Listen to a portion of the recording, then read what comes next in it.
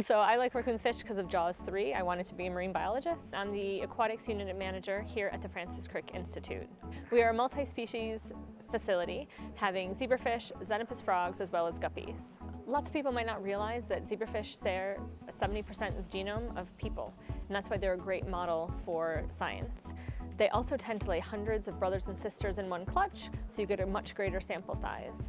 So there's actually broad applications that zebrafish are used for here at the Crick. It tends to be heart development, eye disease, um, enteric nervous system research. Zebrafish lay their eggs when the lights turn on, so we can set them up the night before with a barrier between the male and the female, and then they have some alone time overnight and then when the lights turn on you can remove the barrier and that gets them to lay. And so then the scientists are always starting at the same time point.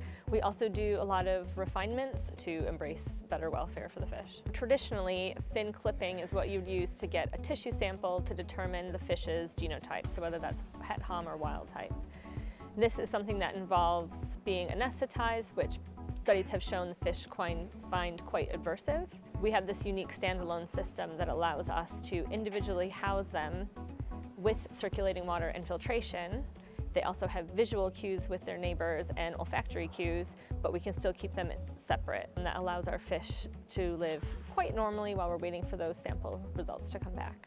And then now we've also started to embrace swabbing, which is a replacement or refinement, I guess, of the fin clipping process. Skin swabbing, we can take a fish directly out of the tank tickle them a bit with a cotton bud, a flock swab, and then send that off for the DNA analysis. So there's no tissue removal, there's no anesthesia.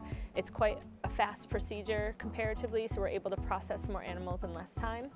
Um, so this is something we've been working on quite a bit and helping um, disseminate the information throughout Europe and the US with this technique, hoping that we can get the entire global community to embrace it.